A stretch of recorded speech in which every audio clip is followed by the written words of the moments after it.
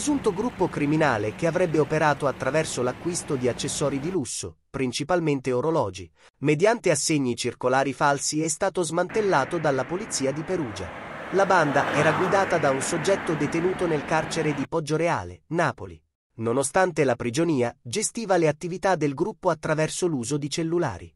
Le indagini, coordinate dalla Procura della Repubblica di Raffaele Cantone, hanno portato a sette misure cautelari in carcere e una di obbligo di dimora nei confronti di soggetti residenti nella provincia di Napoli, accusati di associazione per delinquere finalizzata alle truffe.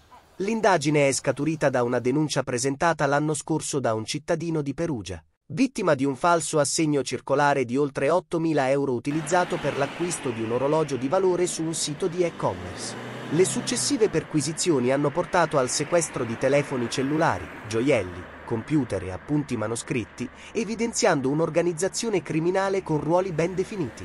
Il modus operandi della banda prevedeva la ricognizione di piattaforme di e-commerce, il contatto telefonico tramite messaggistica e WhatsApp per guadagnare la fiducia del venditore e la predisposizione di assegni circolari falsi con dati bancari della vittima. Il presunto gruppo aveva anche creato numeri telefonici VIP e pagine internet false di banche emittenti, rafforzando la credibilità delle truffe. Il GIP di Perugia ha emesso nove perquisizioni presso le abitazioni degli indagati, inclusa la casa circondariale dove è detenuto il presunto capo dell'associazione. L'operazione è stata condotta dal Centro Operativo per la Sicurezza Cibernetica Polizia Postale e delle Comunicazioni di Perugia, in collaborazione con varie unità di polizia specializzate a livello nazionale. Questa operazione ha svelato un articolato sistema di truffe, mettendo in luce la sofisticatezza delle pratiche criminali, dall'elaborazione di assegni falsi alla creazione di identità e numeri di telefono fasulli. L'azione delle forze dell'ordine ha portato all'arresto di numerosi membri della banda, riuscendo a mettere fine a un'attività criminale che ha causato danni ingenti in termini finanziari e reputazionali alle vittime. A 11 anni dall'orribile tragedia che ha colpito l'Umbria, la memoria di Margherita Peccati e Daniela Crispolti continua a vivere. Il 6 marzo 2013 queste due dipendenti regionali furono barbaramente uccise sul posto di lavoro, lasciando un vuoto incolmabile nei cuori di familiari, colleghi e dell'intera comunità. Oggi, nel centro regionale del Broletto, si è tenuta una commovente cerimonia per onorare la loro memoria. La presidente della regione Umbria, Donatella Tesei, ha pronunciato parole di commozione e rispetto. Il dolore per l'uccisione di Margherita e Daniela è un dolore che non verrà mai dimenticato. Oggi è la giornata in cui ricordiamo le nostre due dipendenti collaboratrici della regione Umbria, eh, purtroppo uccise barbaramente. Eh, è un giorno di ricordo, di commemorazione e anche di una preghiera perché eh, è giusto che rimanga sempre vivo nel nostro cuore, nel cuore di tutti i dipendenti, questa, eh, questo momento così tragico che è stato vissuto 11 anni fa. Ci stringiamo alla famiglia naturalmente a cui abbiamo sempre dimostrato e continuiamo a dimostrare affetto e veramente li abbracciamo tutti eh, tutta la regione fa questo insieme a me in questa giornata. L'atrio della sede regionale del Broletto è stato adornato con un cesto di rose rosse e mimosa, simboli di amore e ricordo. I familiari delle vittime hanno partecipato alla cerimonia, insieme a moltissimi dipendenti regionali, tra cui colleghe e colleghi di Margherita e Daniela. Anche diversi membri della giunta regionale hanno reso omaggio alle due donne, riconoscendo il loro sacrificio e l'impegno profuso al servizio della comunità. L'assassino, Andrea Zampi, un piccolo imprenditore perugino con problemi psichici, entrò negli uffici della regione Albroletto e sparò contro le due donne, ritenendole responsabili dei suoi problemi finanziari. La loro morte ha lasciato un segno indelebile nella storia di Perugia, ma la loro dedizione e il loro servizio restano un esempio di coraggio e impegno. In questo undicesimo anniversario, la comunità Umbra si unisce per ricordare Margherita e Daniela affinché il loro sacrificio non venga mai dimenticato. La cerimonia di oggi è un tributo a queste due vite spezzate troppo presto, ma anche un riconoscimento della forza e della resilienza di coloro che continuano a portare avanti il loro lavoro con passione e dedizione. Sette donne coraggiose hanno preso la guida di Lino Service SAS, un'azienda tipografica storica a Città di Castello, dopo la scomparsa improvvisa del fondatore nel 2020. Allora, la nostra storia nasce da più tempo, perché inizialmente l'azienda era capitanata da mio zio, e, che però è venuta a mancare nel 2020. Quindi noi ci siamo ritrovate sole con questa mancanza e ci siamo dette che cosa facciamo? Continuiamo? Chiudiamo? E abbiamo detto perché le capacità ce le abbiamo, siamo un bel gruppo, ci vogliamo bene, siamo affiatati e proviamoci. E per il momento ecco, ancora siamo qua, quindi speriamo di continuare di certo dalla nostra abbiamo che siamo un bel gruppo, ci vogliamo bene. Io penso di quando vengo al lavoro non mi sembra di venire al lavoro, ma mi sembra di venire ecco, a casa con le persone con le cui mi trovo bene e penso e spero che anche loro abbiano lo stesso mio sentimento. Qui non c'è un datore di lavoro e una dipendente, siamo tutte insieme per l'unico scopo e cercare di fare il lavoro meglio possibile e accontentare la gente. Ecco. Nonostante le sfide, tra cui la pandemia di Covid, hanno continuato a far prosperare l'azienda, dimostrando una notevole determinazione e solidarietà. Allora, noi facciamo tutto quello che riguarda la stampa digitale e la prestampa in, in, in generale. Serviamo, siamo un service, quindi noi qui siamo aperti a tutti, sia per una piccola cosa che per eh, una cosa più grande. Lavoriamo anche con realtà importanti della vallata e siamo contenti perché comunque continuano questi lavori a perseverare, quindi vuol dire che bene o male il nostro lavoro piace, quindi ecco, speriamo di continuare a accontentare la gente. Allora, questo devo dire che siamo fortunatissime perché essendo donne e tutte Oggi, con lo Lino stesso Service SAS rimane una realtà stessa, importante diciamo, nel settore della prestampa poi il lavoro per noi non digitale. finisce qui, abbiamo un secondo lavoro a casa, figli, marito, eccetera questo ci aiuta perché quando una ha un problema le altre cioè, lo risolvono, quindi avere questa cosa non, cioè, è un punto a favore perché tutti ci capiamo, probabilmente se c'erano gli uomini magari certe cose non le avrebbero capite, invece noi le capiamo. Il comune ha celebrato la loro storia in occasione dell'8 marzo, sottolineando i loro valori etici nel campo lavorativo e sociale. E soprattutto l'ho fatto per mio marito, perché noi non avendo bambini, figli, e per lui era la famiglia, questa era la famiglia, quindi di conseguenza eh, abbiamo, cioè, parlando con loro che loro veramente ci tenevano tanto e sinceramente sono state quasi più male di me e ho deciso di andare avanti e posso solo dire grazie a queste ragazze che lavorano con me, che mi hanno dato vita soprattutto e poi hanno fatto tutto loro diciamo. Io ecco, non so come, come ringraziarle e soprattutto sono contenta perché il mio marito voleva che cioè voleva andare avanti e quindi io assolutamente non potevo non fare quello che voleva lui, perché io me lo sento, lui è sempre più vicino a noi.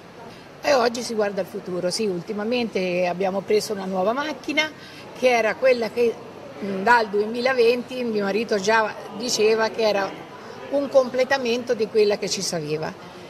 E quindi abbiamo preso anche quella e pochi mesi, però spero che ecco, vedo che comincia a ingranare la cosa. Insomma.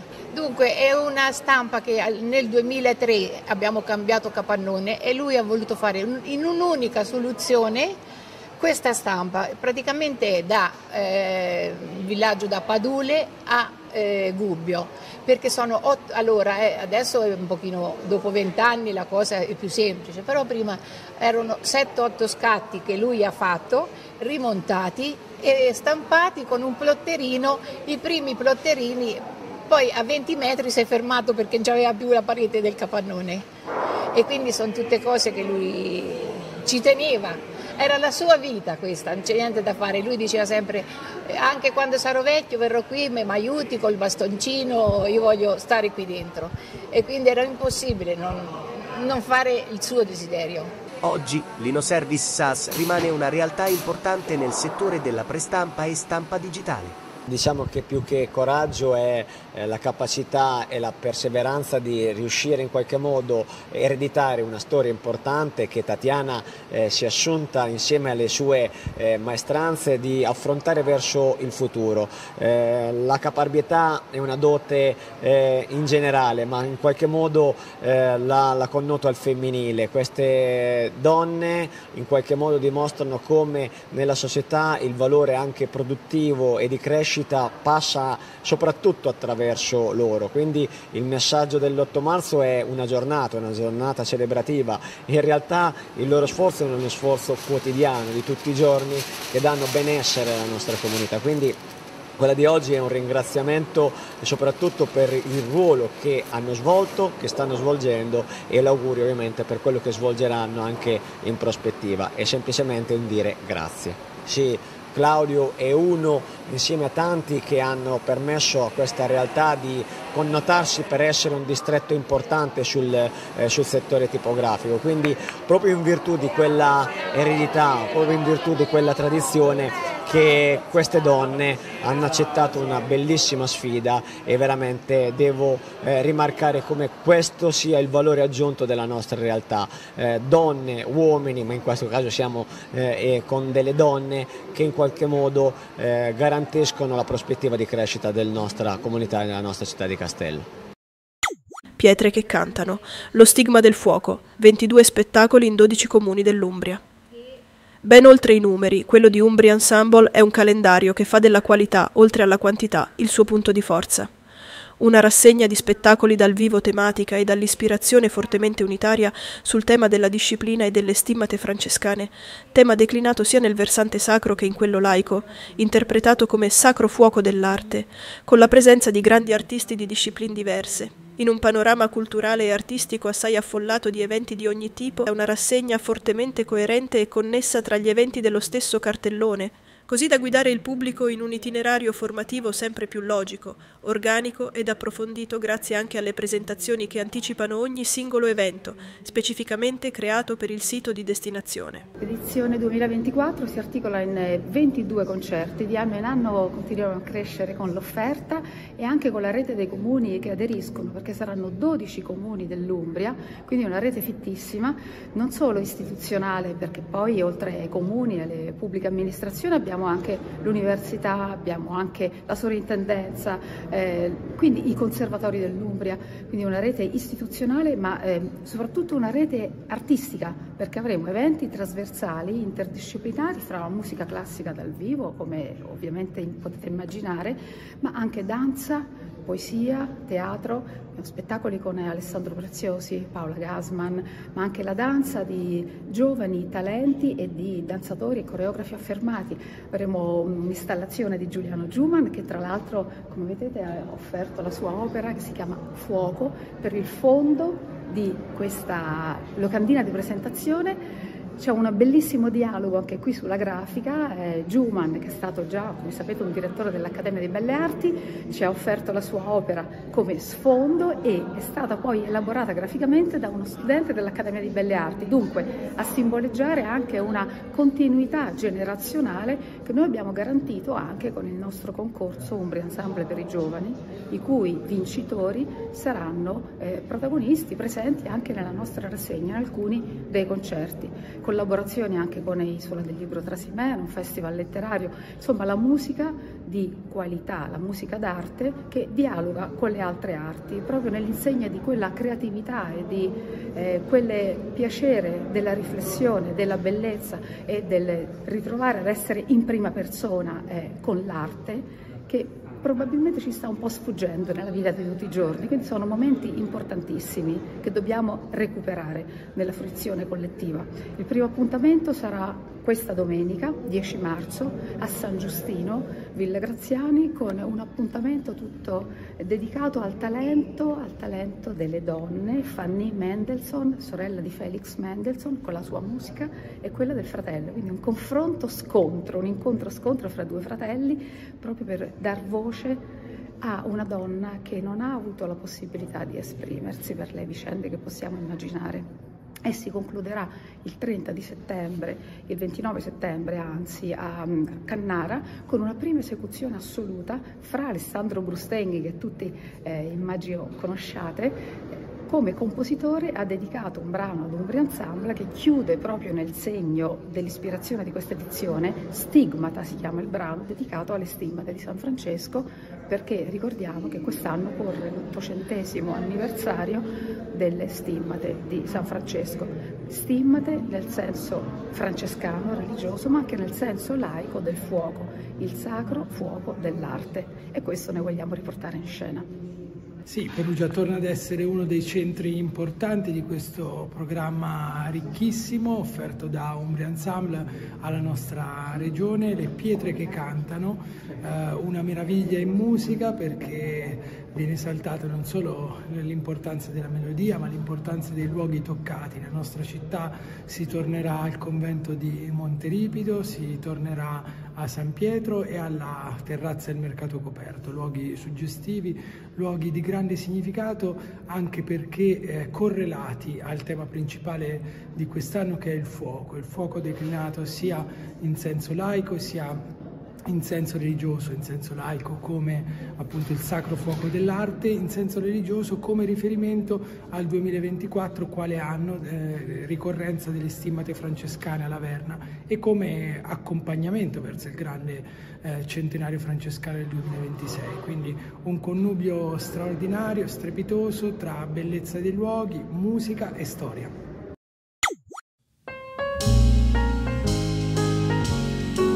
Ha fatto registrare il tutto esaurito la data perugina dello spettacolo Historia Tango Nuevo ai confini del jazz, andata in scena con successo all'Auditorium San Francesco al Prato, regalando al pubblico una serata all'insegna di buona musica, passione per il ballo e solidarietà. L'evento è stato organizzato su iniziativa dei Rotary Club di Perugia, Perugia Trasimeno, Perugia Est, Fortebraccio Montone, Città della Pieve, Terre del Perugino. L'iniziativa è un'iniziativa che è un segnale di attenzione eh, che conferma il nostro impegno sul territorio e verso la nostra comunità. Abbiamo voluto organizzare questa iniziativa proprio per dare un segnale concreto in questa direzione e l'intero ricavato della serata sarà destinato alla Caritas diocesana con la quale abbiamo convenuto di adottare, possiamo dire, alcune famiglie del nostro territorio che vivono in situazioni di particolare disagio. Riteniamo che con l'impegno, piccolo impegno di ciascuno, possiamo fare tante tante cose tutti quanti insieme pertanto l'obiettivo credo stasera sarà raggiunto. È una volontà di essere qui, di essere in città e di essere vicini a chi la città la vive e chi nella città ha bisogno e purtroppo aumentano sempre più le persone che vivono disagio. Sul palco si sono esibiti alcuni protagonisti della popolare trasmissione del sabato sera di Rai 1 Ballando con le stelle. Liberamente ispirato alla figura di Azucena Maizzani, una delle prime donne drag performer a cantare tango negli anni 30 del Novecento, lo spettacolo ideato da Daniele Bocchini e prodotto da TCC Eventi valorizza il talento e la passione per la musica come strumenti di emancipazione, riscatto e sopravvivenza in una società fortemente maschilista e pregiudizievole nei confronti delle libertà e della dignità della donna. Sulle note del tango in chiave jazz, il programma musicale di Storia passa per il son cubano di Miguel Metamoroso, Svaldo Farres e Isolina Carrillo, fino al pop internazionale di Sting, Amy Winehouse, Cher e Pino Daniele attraverso l'eleganza del tango, del bolero latino e del tango flamenco una serata all'insegna della bellezza, dell'arte, una serata che ha coniugato arte e carità e di questo abbiamo bisogno, camminare insieme per dare una risposta ai poveri della nostra città. I bisogni aumentano e abbiamo proprio bisogno di fare rete. Queste serate danno proprio la possibilità di sperimentare, toccare con mano la solidarietà di tanti, camminare insieme per aiutare e rispondere alle esigenze delle oltre 3.200 famiglie che in questo momento fanno riferimento a Caritas.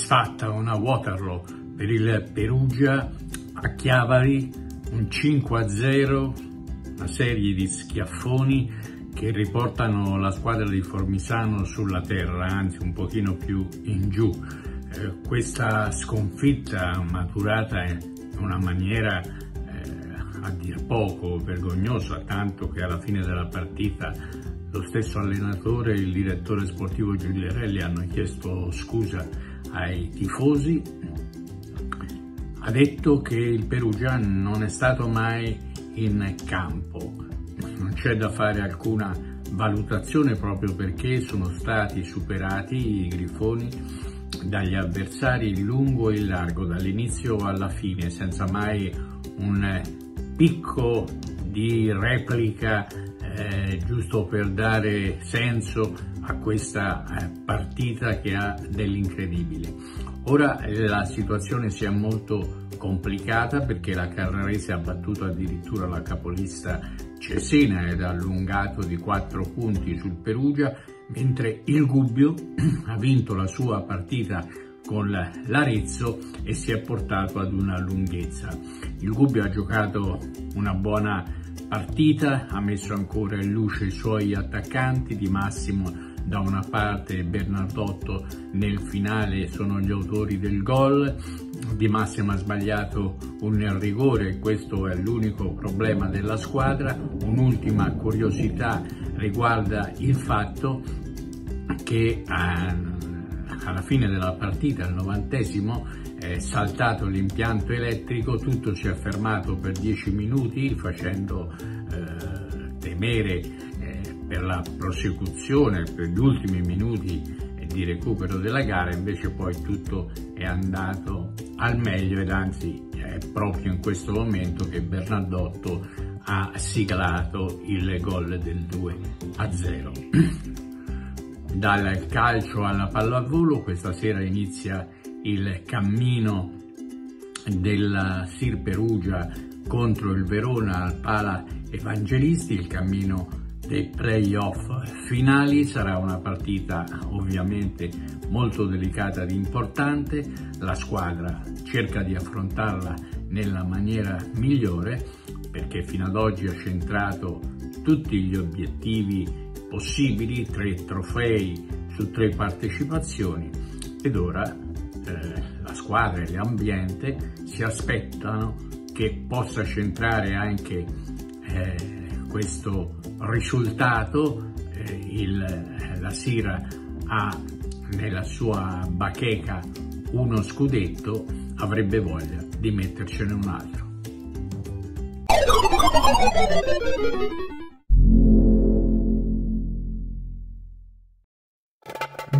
Bentrovati con l'oroscopo di Barbanera, l'almanacco italiano dal 1762. Giovedì 7 marzo, Ariete, il passaggio della luna in un cielo più amichevole vi dà l'opportunità di sentirvi centrati e disponibili.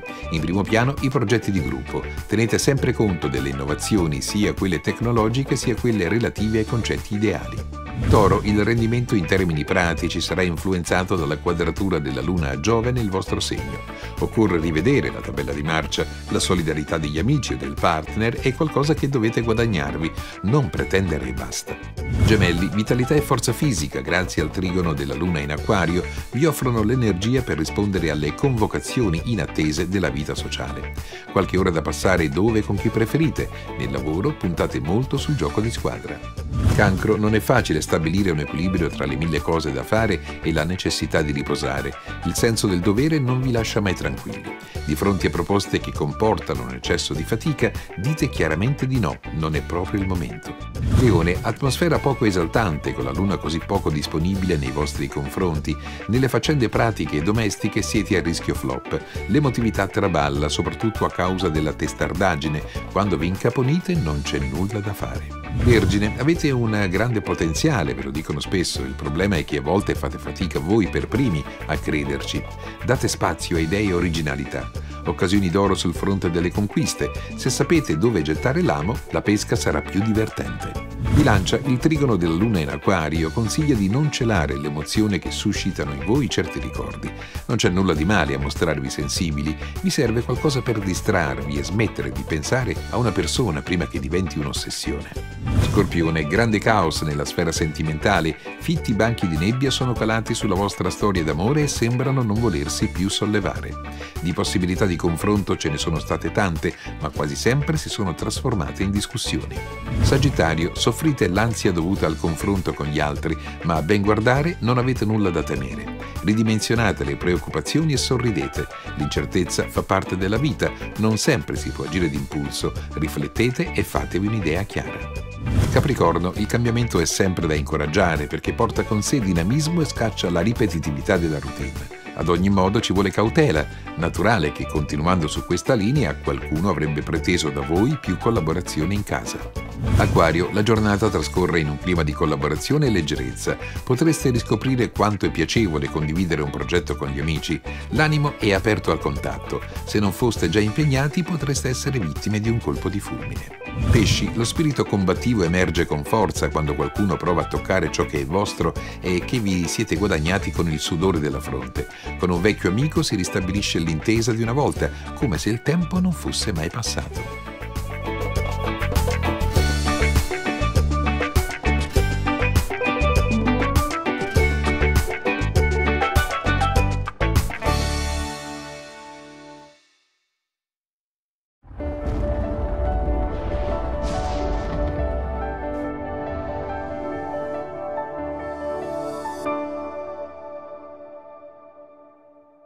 Salve amici del centro meteo italiano, residuo maltempo in Italia ma una nuova perturbazione polare è in agguato.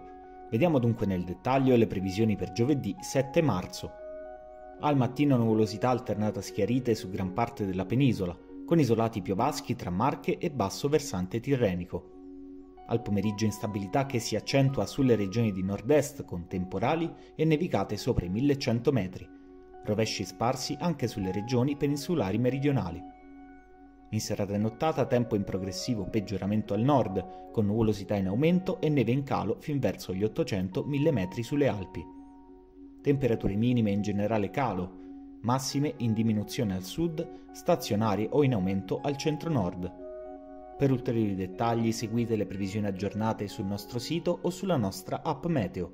Un saluto da parte del Centro Meteo Italiano.